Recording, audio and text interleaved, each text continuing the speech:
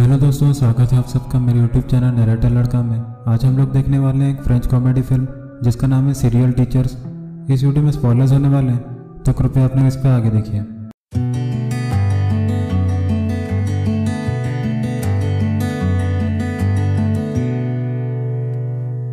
कहानी की शुरुआत फ्रांस के एक स्कूल से होती है, जहाँ 86 परसेंटेज स्टूडेंट सफलता के साथ पास हो चुके हैं, जो कि अब तक का हाईएस्ट रिकॉर्ड है। तो अपने कॉलेज लाइफ के बारे में सोचते ही, वो सारे स्टूडेंट अपने कॉलेज लाइफ को लेकर एक्साइटेड होते हैं। और उसी दौरान, जूल्स फेरी हाई स्कूल में स्कूल की हालत उससे काफ़ी उल्टी है।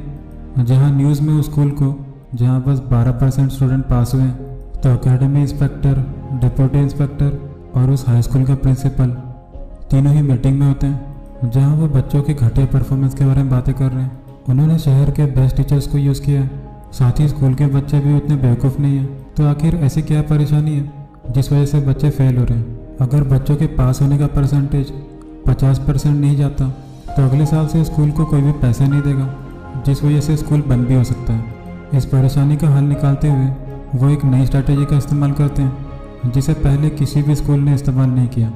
तो आगे वो दुनिया के सबसे घटिया टीचर को अपने स्कूल में नौकरी देना चाहते हैं, क्योंकि शहर के सबसे बेस्ट टीचर उनके स्टूडेंट्स को पास नहीं करवा सके तो उन्हें उम्मीद है कि शहर के घटिया टीचर उनके स्टूडेंट को पास करवा देंगे, जिसके बाद हम दुनिया के सबसे वाहिया टीचर को उस स्कूल की तरफ़ बढ़ते हुए देखते हैं, जिसमें एक घटिया इंग्लिश टीचर है, जिसका नाम ग्लैडिस है। वो पढ़ाने में बेहतर है, पर बेवकूफ़ बच्चों को कड़ी सजा देती है। और दूसरा एक लेजी मैथ्स टीचर है, जिसका नाम कटोरियो है। वो इतना आलसी है कि जब वो फिशिंग करने जाता है तो वो मछलियों को नहीं पकड़ता, बल्कि मछलियाँ उसे पकड़ लेती है। स्पोर्ट्स टीचर एरिक हर एक भारी चीज़ को उठाता है और उसे फ्रिस्बी की तरह इस्तेमाल करता है। चौथा केमिस्ट्री टीचर एल्बर्ट है उसके एक्सपेरिमेंट ज़िंदगी के लिए खतरा है, और वैसे ही उसके क्लासेस भी हैं। और आगे फिलोसफी टीचर मॉरिस, जो उनसे कविता में बात करता है।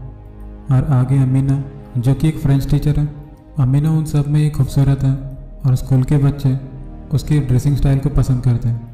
और आगे हिस्ट्री टीचर पोलोचान जो कि शर्मिला है, और हमेशा आग लगा देता है कहीं पर भी जाने पर तो जैसे ही वो सारे टीचर स्कूल में आते हैं, सारे स्टूडेंट की नज़र उन्हीं पर होती है, जहाँ ग्लैडस अपना पहला क्लास लेती है। जहाँ वो स्टूडेंट्स पर चौक का इस्तेमाल करके वार करती है और उसे बच्चों को परेशान करना अच्छा लगता है। सभी स्टूडेंट्स में से एक लड़की का नाम नेक्टोरिन है, जो कि टीचर्स की चमची है, क्योंकि वो पढ़ाई करती है और उसे पिछले साल काफ़ी अच्छे ग्रेड्स मिले थे, जिसे वो बार बार याद दिलाती है। फिर आगे हम क्लास के सबसे लेजी स्टूडेंट को देखते हैं, जिसका नाम बुलियार्ड है। क्लास के अंदर आते ही वो ग्लैडिस का शिकार बन जाता है। ग्लैडिस के बर्ताव से पूरा क्लास हैरान हो जाता है। अगला क्लास कुटीरों का था जो आलसी होने की वजह से क्लास में 20 मिनट बाद आता है और वो ज़्यादा के 10 मिनट लेते हैं अपना नाम लिखने के लिए? जिसके बाद वो क्लास के बाहर जाकर सिगरेट को फूकता है, जब तक कि बैल नहीं बच जाती। हिस्ट्री टीचर पोले चाँद गलती से दूसरे क्लास में चले जाते हैं, जहाँ जर्मन टीचर पढ़ा रही है। उन्हें लगता है कि जर्मन टीचर एक स्टूडेंट है तो वो उसे बैठने के लिए कहते हैं। कुछ देर तक कागजों के साथ खेलने के बाद वो नेपोलियन के बारे में पढ़ाते हैं और आगे उन्हें पता चलता है कि वो गलत क्लास में आ चुके हैं। तो वो उनसे माफ़ी मांग कर वहाँ से चले जाते हैं। लंच ब्रेक के दौरान पोलेट्रॉन और जर्मन टीचर एक दूसरे की ओर देख रहे होते हैं। जिम क्लास के दौरान टीचर सारे बच्चों को झाड़ पर चढ़ने के लिए कहते हैं, बिना बच्चों की सुरक्षा की चिंता करते हुए। जहाँ वो उन सभी से कहते हैं कि मैं तुम्हें ज़िंदगी कैसे जीना सिखा रहा हूँ। जिसके बाद सभी स्टूडेंट्स की फेवरेट टीचर मिस अमीना वहाँ जाती है। क्लास के लड़के उसे देखते वक्त पलक भी नहीं झपकाते, जिसके कुछ देर बाद वो सभी बेहोश होकर अपने बेंच से नीचे गिर जाते हैं। बुयार्ड लेट आने के बावजूद वो भी अमीना को देखकर हैरान हो जाता है। फिलोसफी क्लास के दौरान टीचर एक स्टूडेंट के सिर पे अपना जैकेट रख देते हैं और आगे उन्हें समझाते हैं कि कैसे एक हैंगर पूरे पीरियड तक बात नहीं कर सकता। सबसे आखिर में केमिस्ट्री क्लास के दौरान एल्बर्ट कुछ केमिकल्स को मिक्स कर देता है, पर उसकी एक छोटी सी गलती की वजह से पूरा क्लास झाग से भर जाता है। स्कूल के अंत हो जाने के बाद पोलेस्ट्रॉन फ्रेंच टीचर के पास जाता है। जहाँ वो उनसे अपनी की हुई गलती के बारे में माफ़ी माँगता है और आगे उन्हें हक करते हुए सॉरी कहता है तो स्कूल का पूरा हफ़्ता टीचर्स मिलकर स्टूडेंट्स की खूब बजाते हैं, जहाँ हाई स्कूल के सभी स्टूडेंट्स उन्हें झेल रहे हैं। पर हफ़्ता ख़त्म हो जाने के बाद सभी स्टूडेंट्स के पेरेंट्स प्रिंसिपल के पास आके कंप्लेन करते हैं, जैसे कि केमिस्ट्री टीचर का एक बच्चे के बैग को जला देना और फ़िज़िकल एजुकेशन के दौरान बच्चों की हड्डियों का टूटना, जिन बात को सुनने के बाद प्रिंसिपल की रोंगटे खड़े हो जाती हैं। तो वो डिप्यूटी कलेक्टर को कॉल लगाता जिसने प्रिंसिपल को ये आइडिया दिया था घटिया टीचर के बारे में।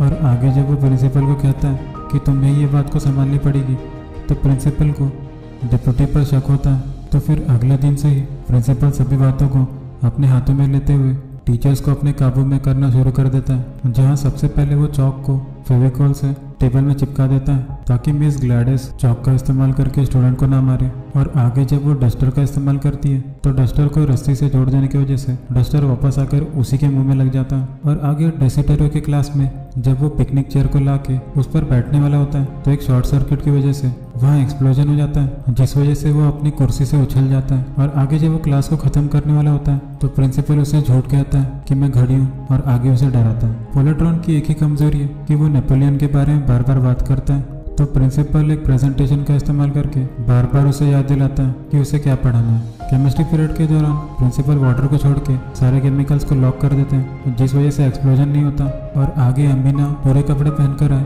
इस वजह से वो कमरे के हीटर को तोड़ देता है। और उसी दौरान पोलेट्रॉन पूरा मेहनत कर रहा है ताकि वो जर्मन टीचर को इम्प्रेस कर सके। तो आगे वो बाकी टीचर से मदद माँगता है, जो उसे कहते हैं कि तुम्हें सख्ती से बात करना पड़ेगा। जब कभी भी वो तुम्हारे पास होती है। पोलेट्रॉन इन बातों को सीरियसली ले लेता है और आगे जब वो उसके सामने आती है तो पोलेट्रॉन एक बैड बॉय की तरह बिहेव करता है। तो वो शर्टलेस होकर जर्मन टीचर से डेट के लिए पूछता है पर उसे पता चल जाता है कि वो कुछ गलत कर रहा है, जब वो उसे मना कर देती है। और आखिरकार टर्मिनल एग्ज़ाम खत्म हो जाता है, जहाँ सभी टीचर्स निराश हैं, क्योंकि वो वो सब नहीं कर पा रहे जो वो हमेशा करते हैं। तो जब डिप्यूटी इंस्पेक्टर वहाँ इंस्पेक्शन के लिए आता है, सभी टीचर्स उसे कंप्लेन करते हुए अपनी प्रॉब्लम्स बताते हैं और आगे डिप्यूटी इंस्पेक्टर को पता चल जाता है कि ये सब प्रिंसिपल की चाल थी। तो वो उन सभी टीचर्स को पूरा पावर दे देता है कि उन्हें जो लगता है वो स्कूल में जाके कर सकते हैं। तो क्योंकि अब वो जो चाहे वो कर सकते हैं तो हमें काफ़ी अजीब चीज़ देखने के लिए मिलती है, जहाँ पोलेट्रॉन नेपोलियन की तरह कॉस्ट्यूम पहनकर पूरे कैरेक्टर में घुस चुका है। आलसी कटेरो सोते हुए उन्हें पढ़ाता है। मिस ग्लैड्स की क्लास में जब बुयॉर्ड एक लड़की की चोटी खींचता है तो मिस ग्लैड्स उस लड़की के बाली काट देती है और क्योंकि टीचर्स को ये पावर है कि वो कुछ भी कर सकते हैं तो प्रिंसिपल बच्चों को नहीं बचा पाता। सबसे ज़्यादा फ़ायदा इस बात का केमिस्ट्री टीचर उठाता है। जिसके किए हुए एक्सपेरिमेंट्स स्टूडेंट्स के लिए जानलेवा होते हैं, जहाँ हर एक क्लास में कोई ना कोई तबाही ज़रूर मचती है। और आगे फिलोसफी टीचर अपने सभी स्टूडेंट्स को ग्राउंड में नंगा घूमने के लिए कहता है, ताकि वो उन्हें प्रकृति के बारे में समझा सके। ये सभी टीचर्स को जेल जाना चाहिए। स्कूल में रहने वाले पड़ोसी टीचर्स के बारे में सुन चुके हैं। उन्हें एक खूबसूरत टीचर के बारे में पता है, उन्हें केमिस्ट्री के धमाके के बारे में पता है, और एक क्लास के बारे में जहाँ स्टूडेंट्स नंगे घूमते हैं। तो फिर कुछ दिन बाद स्कूल के आसपास रहने वाले लोग छुपते हुए स्कूल के सारे क्लासेस ज्वाइन कर लेते हैं, जहाँ अटेंडेंस अब 120 परसेंट तक पहुँच चुका है और अब स्कूल क्लब बन चुका है, जहाँ टीचर्स टीचर नहीं बल्कि सेलिब्रिटी बन चुके हैं। वहीं पोलोट्रॉन अभी भी जर्मन टीचर को इम्प्रेस करने की कोशिश कर रहा है और आगे वो सफ़ेद घोड़े में सवार होते हुए खुद को प्रिंस बताता है। उसका प्लान फेल हो जाता है, जब उसका सफ़ेद घोड़ा उसे छोड़ के वापस भागता है और आगे जब फाइनल एग्ज़ाम नज़दीक होती है तो स्कूल में आने वाले एक्स्ट्रा स्टूडेंट को अंदर नहीं आने दिया जाता। पर इसके बावजूद वो स्कूल के बाहर से एग्ज़ाम देने के लिए तैयार हो जाते हैं। और आगे जब एनालिसिस में उन्हें पता चलता है कि उनके पास होने का परसेंटेज 12 परसेंट से घटकर 3 परसेंट हो चुका है टीचर इस बात पर यकीन नहीं करना चाहते। और प्रिंसिपल को भी यकीन नहीं होता कि कैसे 12 परसेंट से घट के तीन परसेंट गिर चुका है। तो वो सीधा जाकर डिप्यूटी ऑफिसर से मिलता है और आगे प्रिंसिपल को पता चलता है कि ये सब डिप्यूटी ऑफिसर की चाल थी। वो चाहता था कि स्कूल के पास होने के परसेंटेज और भी ज़्यादा गिरे, ताकि स्कूल के एकेडमिक ऑफिसर को निकाल कर उसे उसकी नौकरी मिल जाए। उसे पता था कि नए टीचर इन बच्चों को पास नहीं करा सकते और इसी वजह से उसने उन्हें नौकरी पर रखा। पोलेट्रॉन इस बात को सुन लेता है और आगे स्टाफ रूम में जाके वो सभी टीचर्स को इस बारे में बता देता है। इस बात को जान लेने के बाद कि वो फ्रांसिस के घटिया टीचर्स हैं। वो इस बात से नाराज़ हो जाते हैं और साबित करना चाहते हैं कि वो भी अच्छे टीचर्स हैं। पोलेट्रॉन को एक आइडिया आता है कि क्यों ना हम क्वेश्चन पेपर को ही चुरा लें। तो बाकी टीचर्स आकर एक प्लान बनाना शुरू कर देते हैं और वो इस बात के लिए भी तैयार होते हैं, जहाँ वो गोली से बचने की भी प्रैक्टिस करते हैं और आखिरकार चोरी का दिन आ जाता है, जहाँ वो मिनिस्ट्री के बाहर एक ग्रुप जो कि प्रोटेस्ट कर रहे हैं, उन्हें जान कर लेते हैं। जब पुलिस प्रोटेस्ट करने वालों की ओर दौड़ रही होती है तो मिस ग्लैडिस ज़मीन पर लेट जाती है, जिस वजह से किसी का भी ध्यान उन पर नहीं होता और जब ग्लैडिस और कटीरो बाहर इंतज़ार कर रहे हैं बाकी टीचर्स मिनिस्ट्री के अंदर चले जाते हैं। अमीना अपनी खूबसूरती का इस्तेमाल करके गार्ड्स का ध्यान बटाती है ताकि ग्रुप के टीचर अंदर चले जाएँ। पर सेफ़ रूम के अंदर जाने के बाद उन्हें पता चलता है कि लॉकर का एक छह नंबर का डिजिट कोड है और तभी कटेरो वहाँ आ जाता है और आगे उनसे कहता है कि लॉकर का कोड वही होगा जिस दिन मिनिस्टर इलेक्शन जीता था।